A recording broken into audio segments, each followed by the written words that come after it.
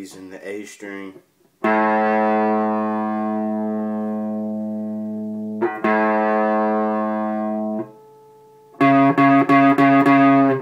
Alright, so first start off with seven,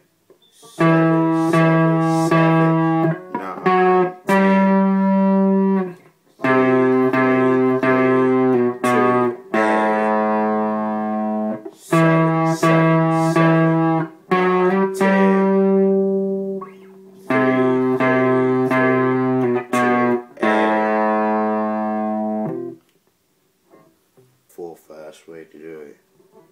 Seven, seven,